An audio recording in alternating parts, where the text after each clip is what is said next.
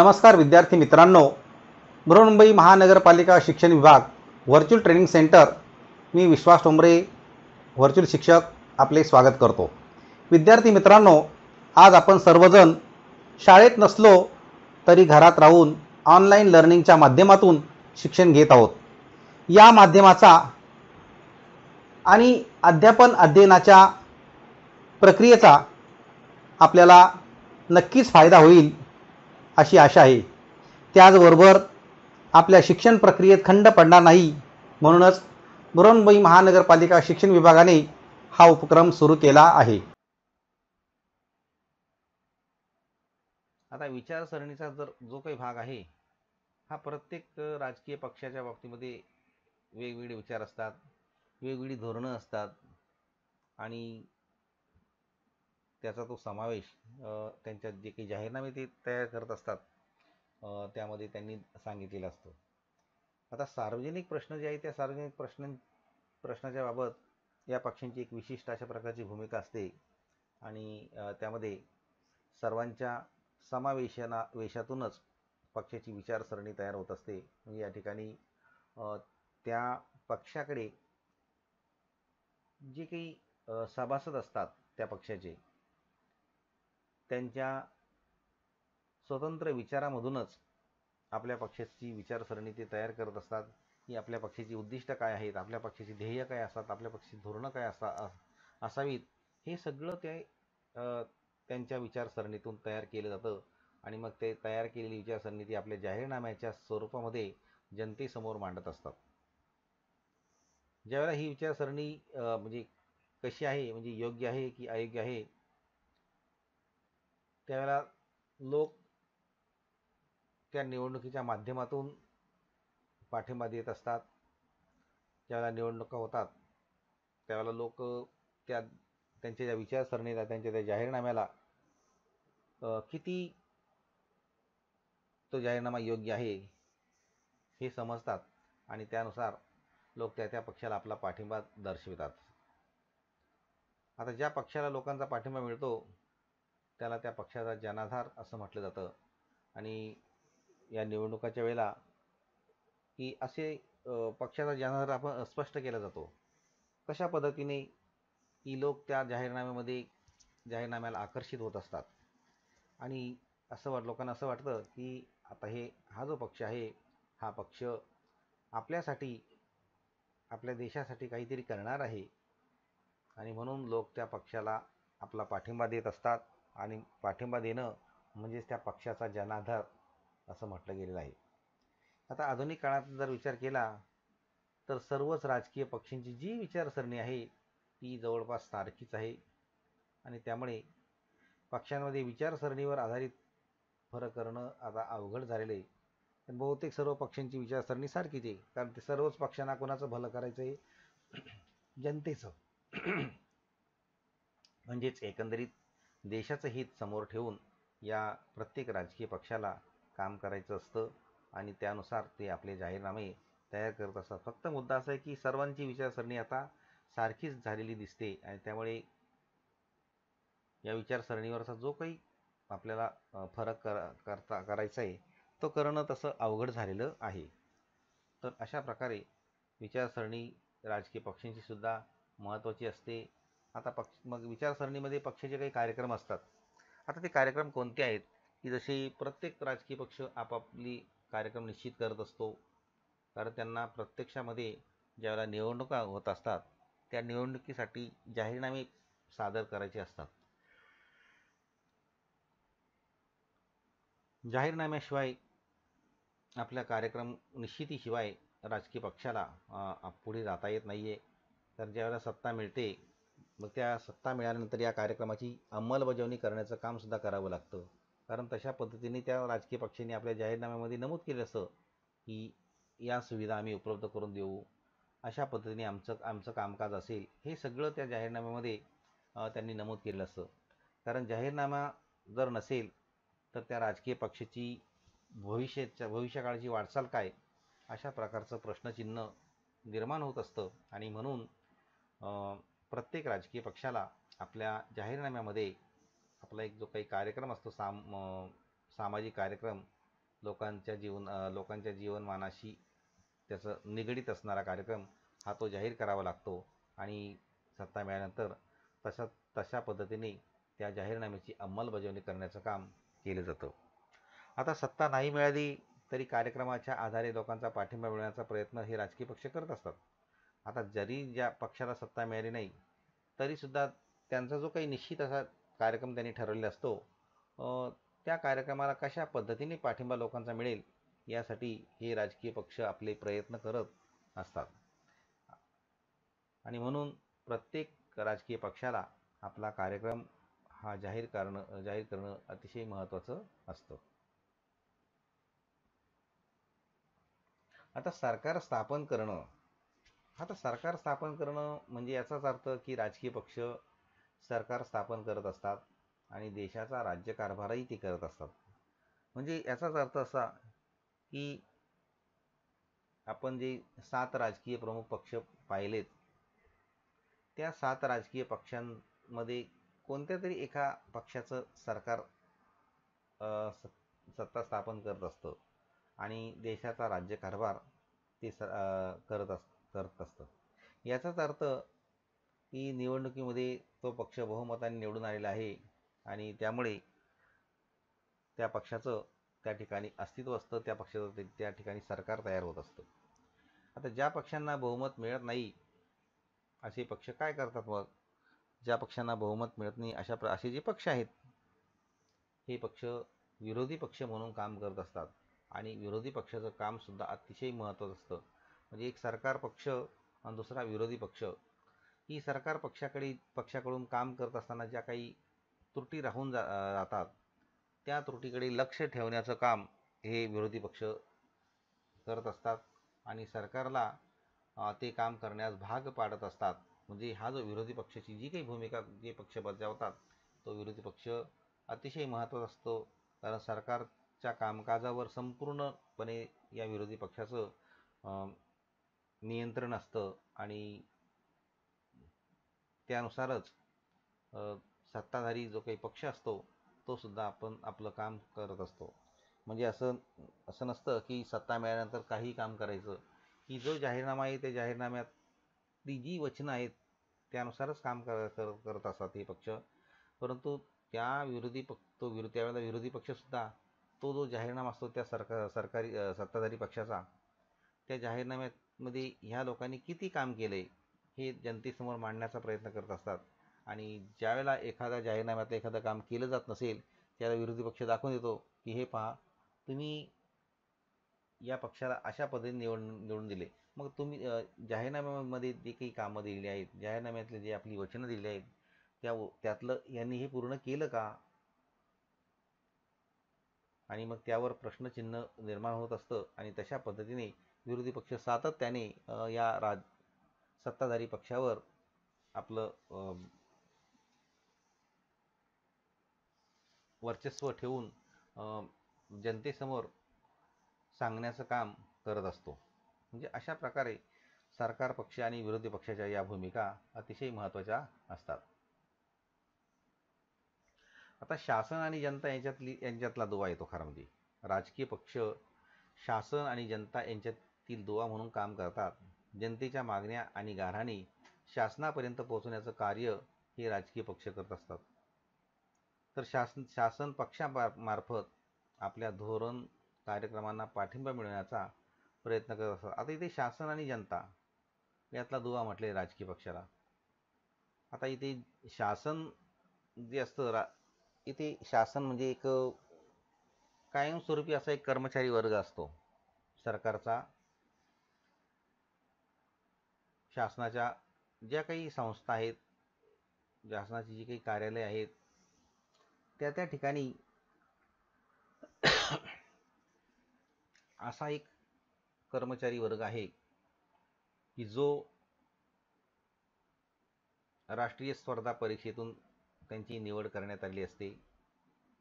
त्याला सचिव अशा प्रकारचा दर्जा दिलेला असतो. आणि त्यांच्यामार्फत शासनाचं म्हणजे शासनाचं कार्य सुरू असतं. मग ते शासन आणि जनता यांच्यातला दुवा म्हणून हे राजकीय पक्ष काम करत असतात. याचा अर्थ असा की प्रत आपल्या देशामध्ये प्रत्येक पाच वर्षानंतर निवडणुका होत असतात. आणि त्यावेळेला त्या ठिकाणी येणारा राजकीय पक्ष हा निवडणुकीच्या माध्यमातून येत असतो परंतु तो बदलत असतो. आणि बदलत असताना त्या ठिकाणी जो काही शासकीय जो काही भाग आहे शासनाचा तो अधिकारी वर्ग मात्र त्या ठिकाणी तसाच असतो तो काही बदलत नाही. तो अधिकारी वर्ग केव्हा बदलतो? ज्यावेळेला ते शासन येतं तो पक्ष सत्तेवर येतो त्यावेळेला मग त्या अधिकाऱ्यांच्या वेगळ्या ठिकाणी मग त्या त्यामध्ये बदल केला जातो. परंतु मुद्दा असा आहे की जे काही शासन आहे त्या शासन आणि जनता यांच्यातला दुवा आहे म्हणजे शासनाची जी काही गाऱ्हाणी असतात शासनाचे जे काही प्रश्न असतात ते प्रश्न घेऊन हा राजकीय पक्ष काम करत असतो. जनतेचं प जनतेचे जे काही प्रश्न असतात ते प्रश्न त्या ठिकाणी सोडवण्याचं सुद्धा काम हा राजकीय पक्ष करत असतो. म्हणजे जनतेच्या मागण्या आणि गाऱ्हाणी शासनापर्यंत पोहोचण्याचं कार्य राजकीय पक्ष करत असतात. आता इथे सरकार पक्ष हा वेगळा आहे. सरकार पक्ष म्हणजे एक शासन आहे ते जो पक्ष निवडून आलेला असतो तो शासन म्हणून काम करत असतो. मग त्यामध्ये त्यां त्यांच्या संबंधित अधिकारीसुद्धा सोबत असतात. परंतु जे काही राजकीय पक्ष निवडून आलेले नसतात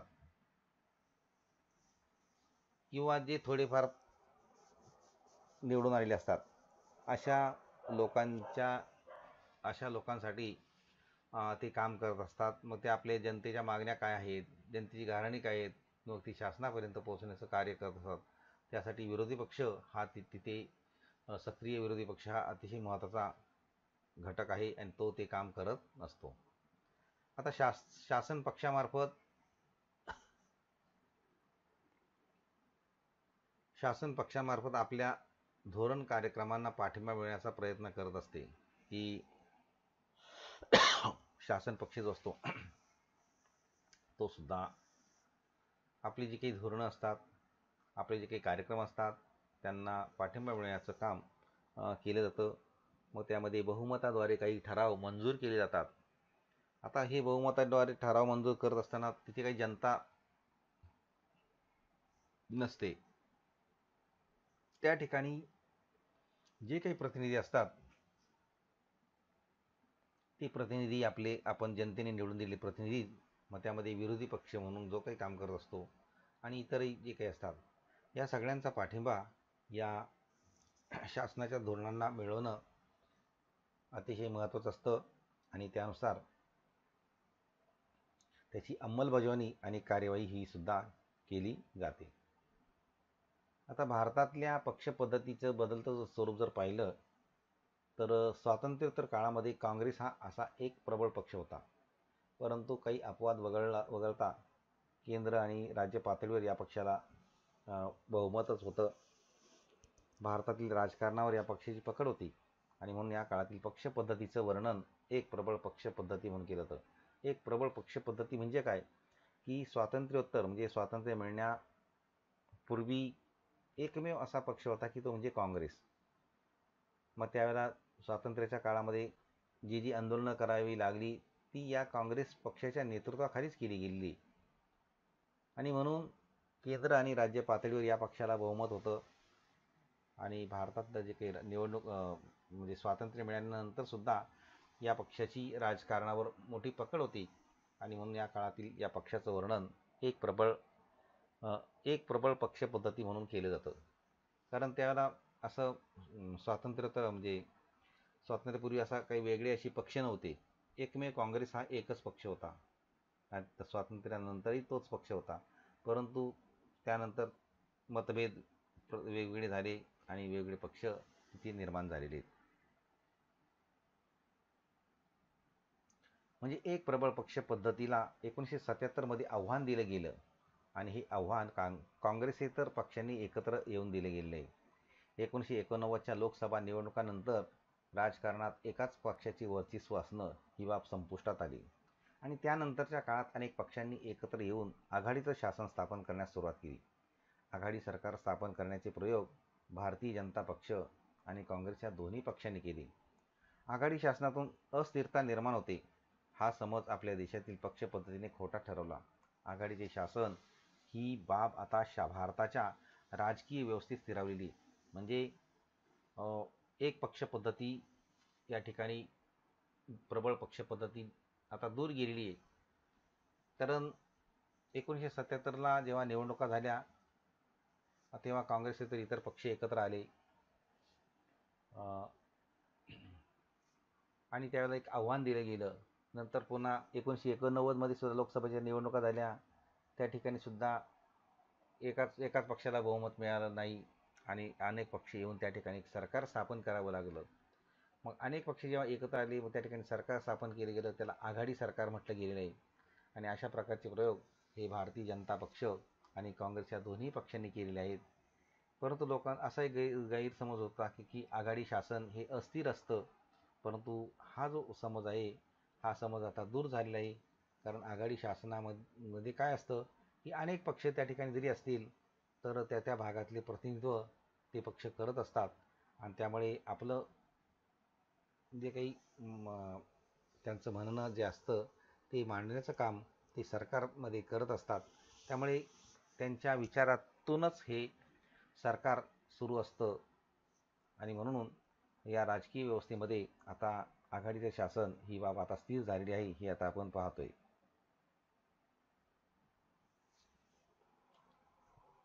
मग इथे आघाडी सरकार कोणत्या राजकीय पक्षाने स्थापन केलं? आणि त्यात जनतेला समाधान मिळते का? तर आपण आता सध्या आपल्या देशामधली जी परिस्थिती जर पाहिली तर आपल्या देशामध्ये सुद्धा आघाडी सरकार स्थापन झालेलं आहे. आणि त्यामध्ये जनतेला समाधान मिळतं का? तर शेवटी लोकांच्या हिताची कामं जर केली तर जनतेला समाधान मिळतच असतं. आणि म्हणून हा जो प्रश्न आहे या प्रश्नाचं आपण आपल्या विचाराने उत्तर लिहू शकतो. कारण या ठिकाणी प्रत्येक व्यक्तीचे विचार हे वेगळे असू शकतात हे आपल्याला सांगता आलं पाहिजे. कारण मी जे बोलतो माझे विचार वेगळे असतील. तुम्ही जे ऐकता तुमचे विचारसुद्धा वेगळे असू शकतात. आणि म्हणून आघाडी सरकार कोणत्या राजकीय पक्षाने स्थापन केलेलं आहे आणि त्या जनतेला समाधान मिळते का या प्रश्नाचं उत्तर आपल्या आपल्यावर अवलंबून आहे. प्रत्येक व्यक्तीवर अवलंबून असतं. कारण व्यक् प्रत्येक व्यक्तीची विचारक शक्ती विचारधारा ही वेगवेगळी असते. एक पक्ष पद्धती आणि बहुपक्ष पद्धती याचा आपण विचार करत आहोत. आता एकाच राजकीय पक्षाच्या हाती सत्ता दीर्घकाळ असल्यास अन्य कोणतेच पक्ष राजकारणात प्रभावी नसल्यास त्या पक्ष पद्धतीला एक पक्ष पद्धती असं म्हणतात. एक पक्ष पद्धती म्हणजे काय? याचाच अर्थ असा की एकच राजकीय पक्ष आहे आणि त्याच्याकडे दीर्घकाळापासून सत्ता आहे. याशिवाय इतर जे काही राजकीय पक्ष असतात हे राजकीय पक्ष त्या ठिकाणी प्रभावी नसतात. त्याला त्या पक्ष पद्धतीला एक पक्ष पद्धत असं म्हणतात. लक्षात आलं का आलं का? की एकाच राजकीय पक्षाच्या हाती दीर्घकाळ म्हणजे सत्ता असणे. आणि त्या ठिकाणी जे इतर पक्ष असतात त्यांचा राजकारणात प्रभाव नसणे. या पक्षपद्धतीला एक पक्ष पद्धती असं म्हणतात. राजकारणामध्ये दोन राजकीय पक्ष प्रभावी असतात. आणि आलटून पालटून या दोन राजकीय पक्षाच्या हाती सत्ता जाते. तेव्हा ती शासन पद्धती द्विपक्ष पद्धती असं म्हटलं गेलेलं आहे. म्हणजे ज्यावेळेला हे राजकारण काय राजकारणामध्ये रा दोन राजकीय पक्ष असतात ते प्रभावीपणे प्रभावी असतात. परंतु एकदा एक पक्षाची सत्ता आली दुसऱ्यांदा दुसऱ्या पक्षाची सत्ता आली म्हणजे याचा अर्थ काय? की ते आलटून पालटून आपली सत्ता उपभोगत असतात. मग अशा वेळेला ती जी शासन पद्धती असते ती द्विपक्षीय शासन पद्धती असं म्हटलं गेलेलं आहे. आता अनेक पक्ष राजकीय पक्ष सत्तेच्या स्पर्धेमध्ये मध्ये असतात. आणि सर्वांचा कमी अधिक प्रमाणामध्ये राजकीय प्रभाव असतो अशी पद्धती म्हणजे बहुपक्ष पद्धती तिला ओळख म्हणून ओळखली जाते. आपल्याला पाहिलं की आपल्या देशामध्ये अनेक पक्ष आहेत. त्यामध्ये फक्त प्रमुख सात प्रमुख पक्ष मानले गेलेले आहेत की जे राष्ट्रीय स्तरावर त्यांची मान्यता आहे. परंतु जवळजवळ चारशे चार असे पक्ष आपल्या देशामध्ये आहेत. मगाशी तुम्हाला दाखवलं की सर्वात जास्त बिहार उत्तर प्रदेश या ठिकाणी सर्वात जास्त पक्ष आहेत. मग हे सगळेच राजकीय पक्ष राजकारणात सक्रिय आहेत का नाही? हे काही स्थानिक त्या त्या ठिकाणी ज्या काही संस्था आहेत त्या ठिकाणी सक्रिय असतात. परंतु सत्तेच्या स्पर्धेमध्ये ते असतात. आणि सत्तेच्या स्पर्धेमध्ये असल्यामुळे कमी जास्त त्या राजकीय पक्षांचा प्रभाव असतो. अशा पद्धतीला बहुपक्ष पद्धती असं म्हटलं गेलेलं आहे.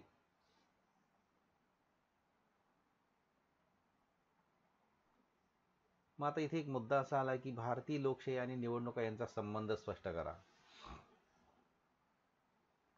तर आपण आपल्या भारतीय लोकशाहीचा जेव्हा विचार करतो तेव्हा आपली ही जी लोकशाही आहे ही लोकशाही संसदीय लोकशाही आहे. आणि संसदीय लोकशाही असल्यामुळे आपल्याकडे संसद आहे की जिथे लोकसभा आणि राज्यसभा अशी दोन सभागृह असतात. आणि त्या सभागृहामार्फत म्हणजे लोकसभा जी असतं त्या ठिकाणचे जे काही स सभासद असतात M P member of parliament तर ते जनतेतून जनतेने निवडून दिलेले असतात. प्रत्यक्षात जनतेतून निवडून आलेले असतात.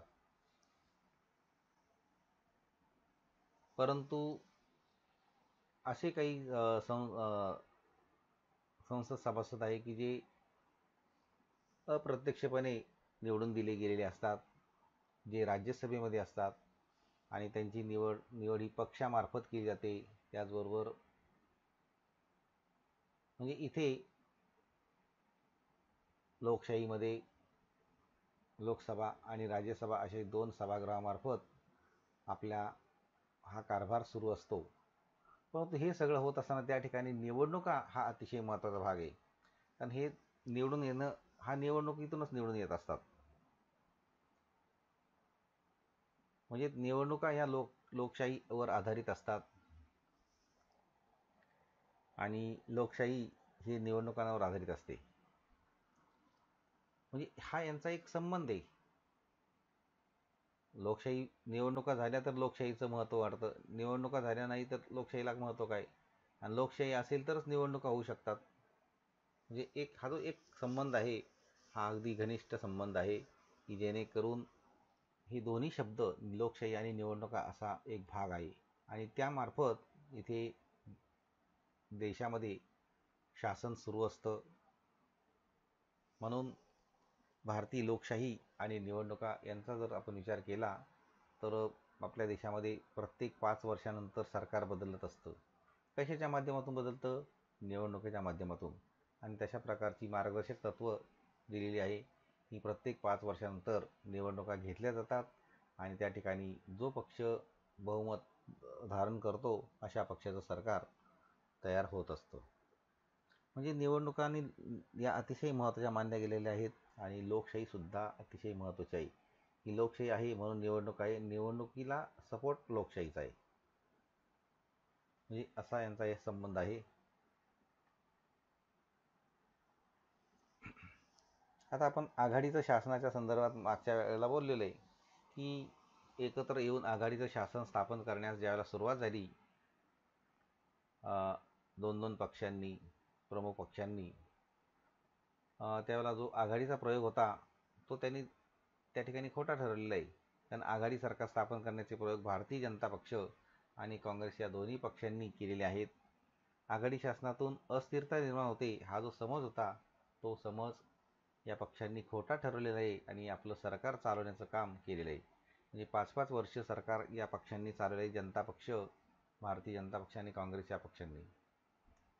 आघाडीचे शासन ही बाब आता भारतीय भारताच्या राजकीय व्यवस्थेमध्ये स्थिरावलेली आणि आता ही आघाडी हा शब्द या शासनातून जाणं अशक्य आहे.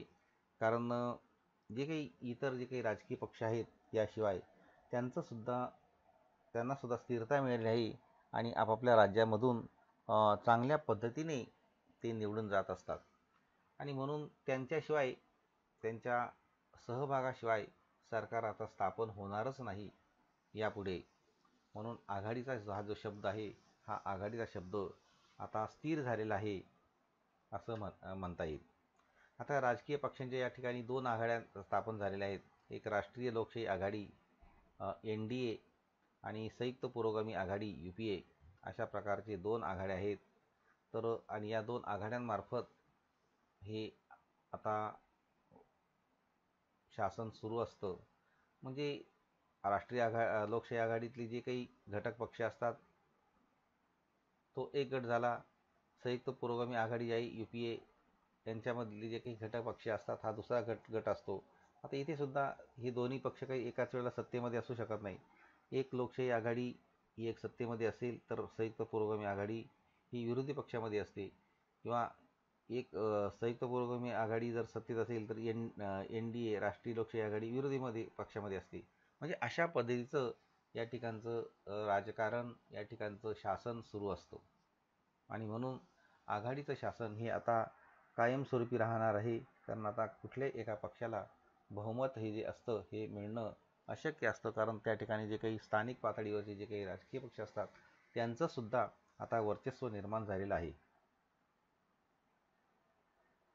आता आघाडीतील घटक पक्ष शोधा आणि त्यांची नावं लिहा. आपण या प्रश्नाचं उत्तर लिहायचं आहे की आघाडीमध्ये जशी एन डी ए आणि यू पी अशा दोन आघाड्या दा सांगितले गेलेले त्यांची एक लिस्ट आपण स्वतः करायची आहे आणि त्यांची नावं आपण लिहायची आहे. एन डी एमध्ये घट एन डी एमध्ये असलेले घटक पक्ष कोणते आणि यू पी एमध्ये असलेले घटक पक्ष कोणते? या घटकाची बरीचशी माहिती देण्याचा प्रयत्न करण्यात आलेला आहे. आपणही या घटकाचे व पाठाचे वाचन करायचे आहे आणि पाठ्यपुस्तकात दिलेले जे प्रश्न आहेत त्या प्रश्नांची उत्तरं सोडवायची आहेत. त्याचबरोबर आपल्याला मी काही प्रश्नसुद्धा दिलेले आहेत. ते प्रश्नसुद्धा आपण सोडवायचे आहेत. आणि याबरोबरच या पाठाच्या आपल्या प्रतिक्रिया आपण बृहन्मुंबई महानगरपालिकेच्या यूट्यूब चॅनलवर जरूर कळवायच्या आहेत. धन्यवाद.